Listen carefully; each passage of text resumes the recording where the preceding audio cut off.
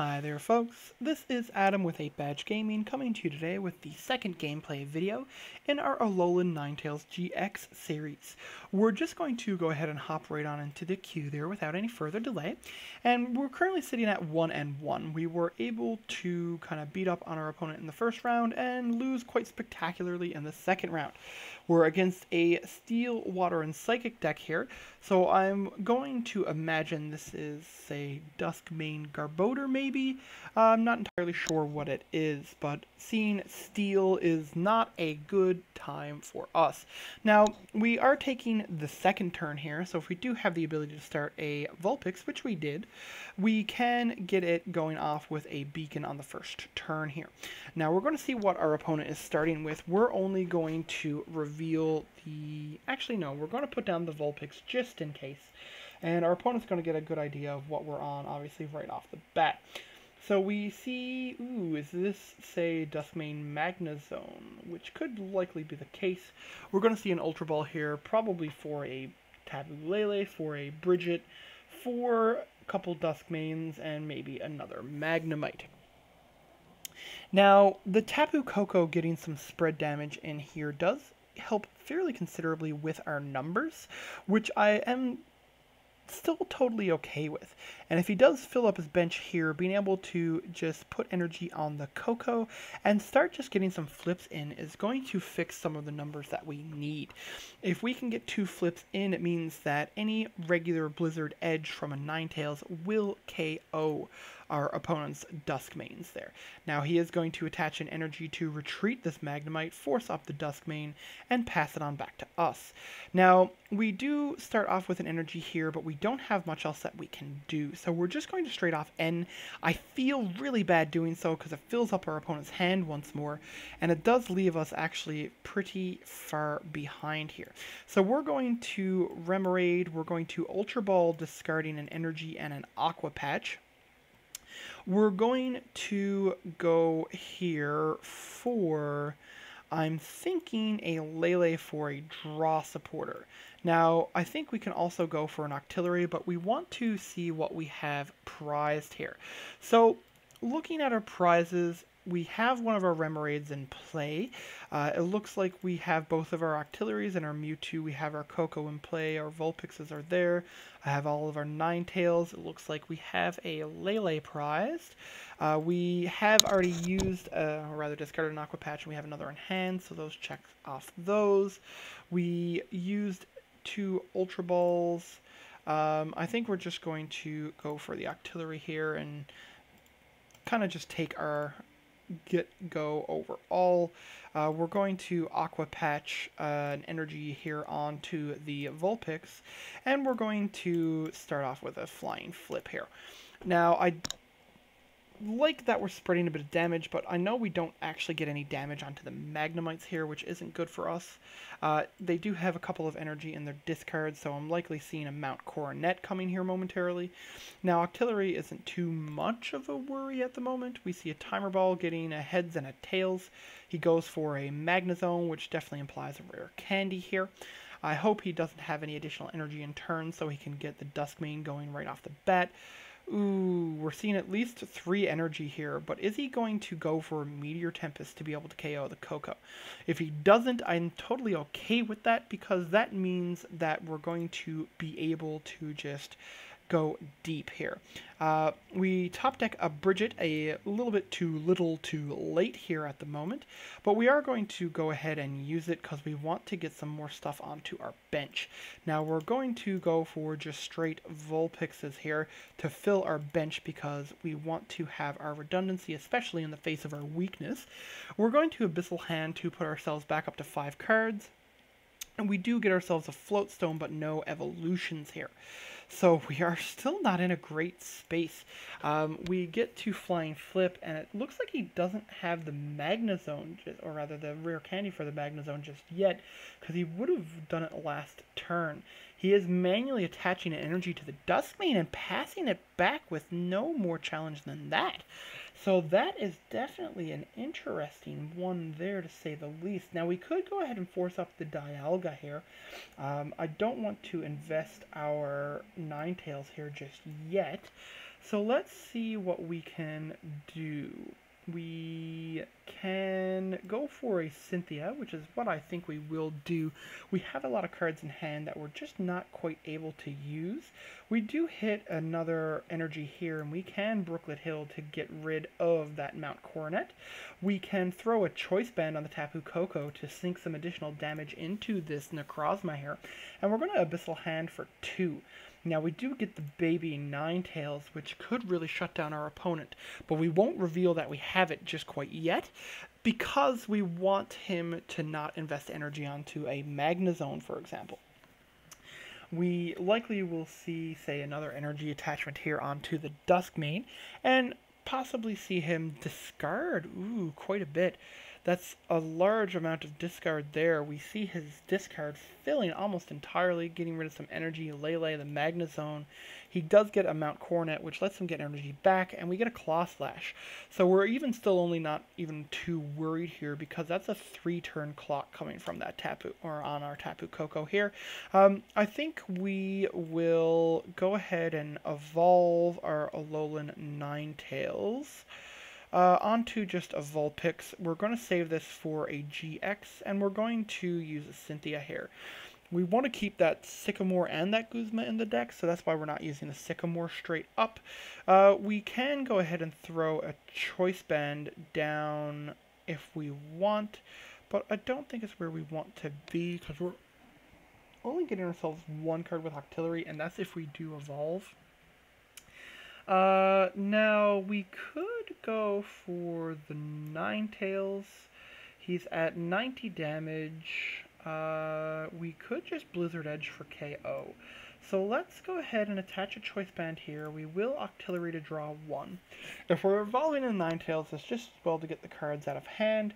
We're going to retreat, and we're going to go for a Blizzard Edge to KO this Ninetales, or use this Ninetales rather to KO the Duskmane.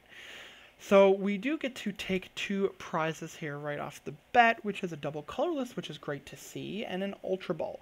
Now, what we want to do here is, let's see, we can Aqua Patch on to the baby Ninetales. Ooh, that's not what I'd like to see. Getting rid of what we have in hand here is not a fun time for us, but we do have the Octillery in the face of all that fun stuff there.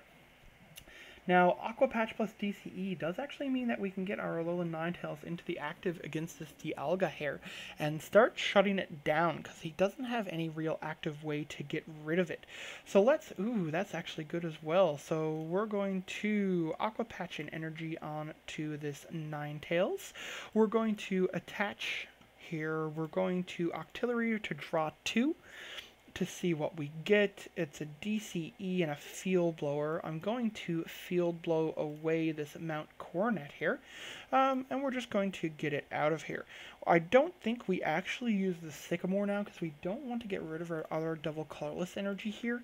Um, seeing we already have three accounted for at the moment.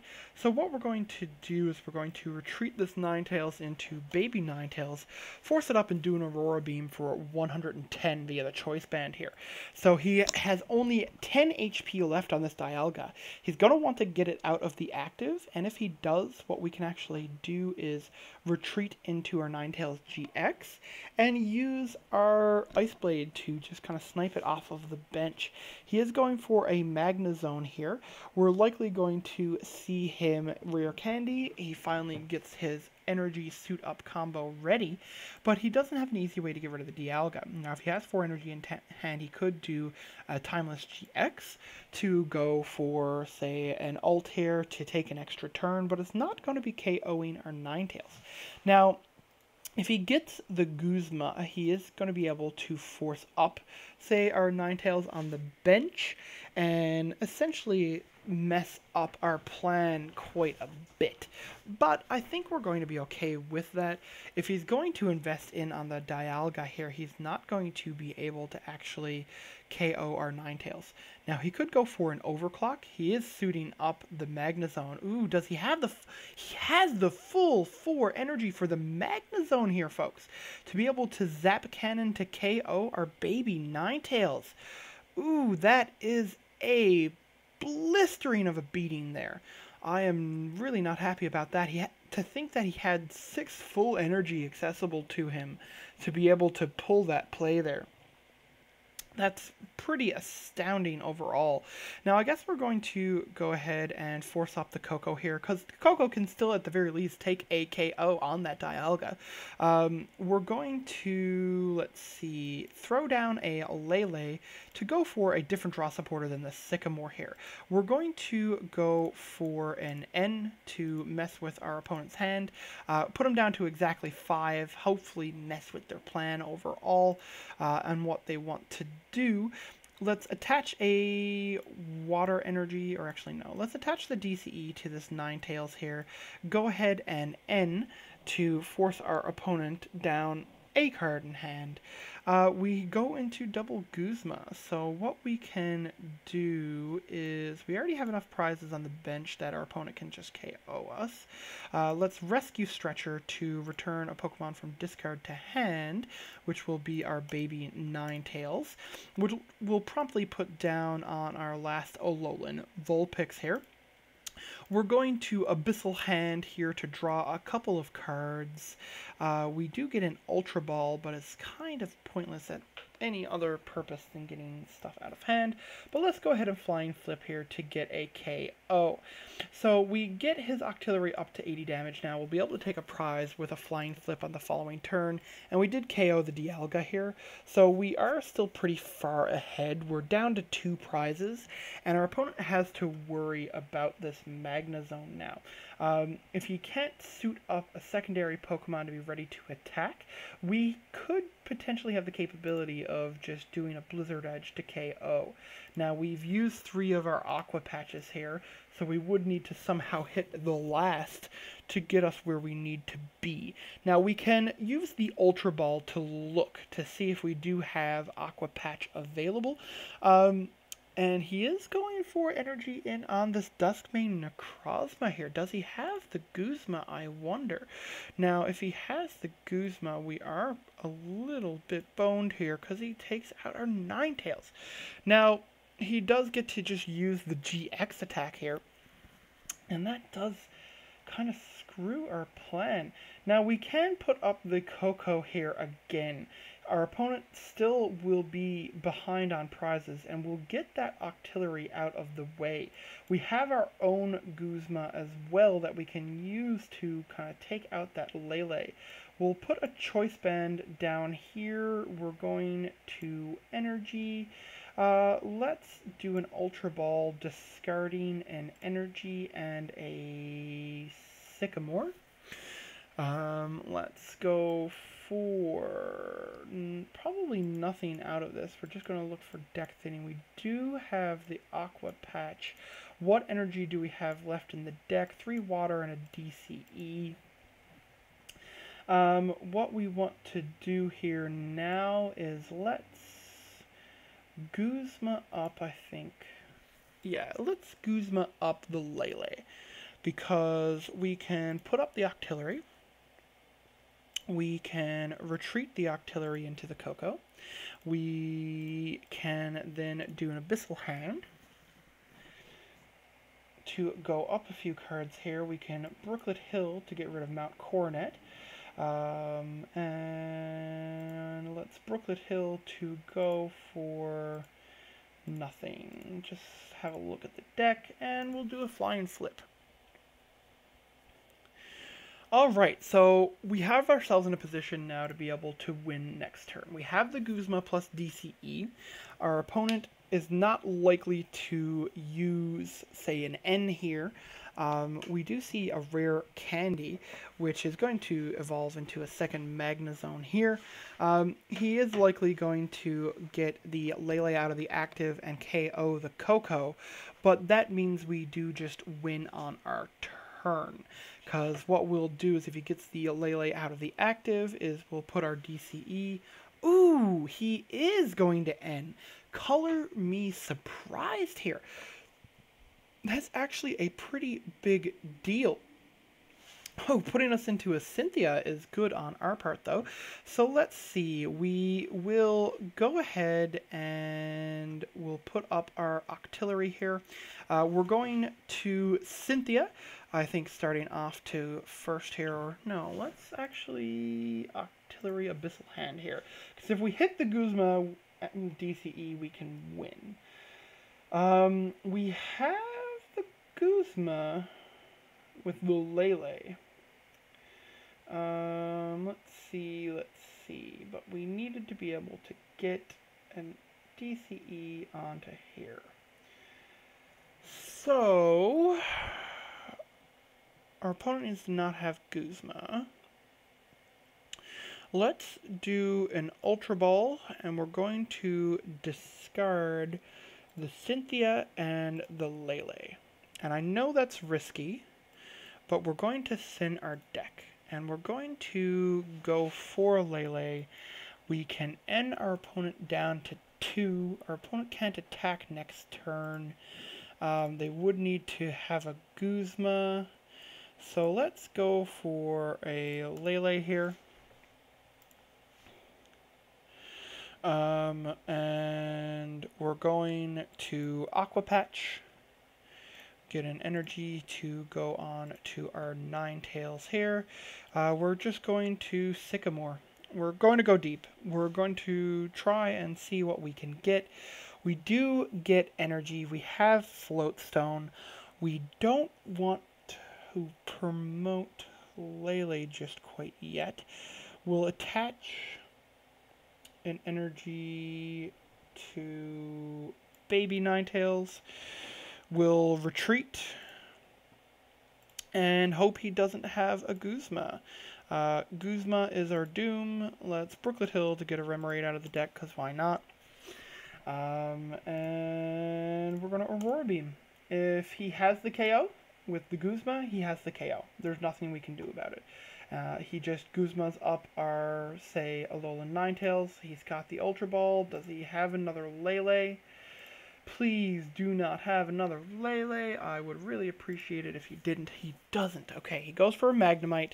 Does he have the Guzma in hand? He has, let's see, used one Guzma so far. Let's see. Can he get out of the situation? We just need one prize. If he passes, we can win. Um, we see an energy being attached to this Magnezone, a Sycamore. So he doesn't have the Guzma. Now, if he gets enough energy, he can fuel up the second Magnezone. How many energy does he have in his discard? He's got two energy in discard. He's getting... So two, three, four, five, six, seven, eleven. So he might not have hit it. He didn't hit it. Oh, folks, we have this game.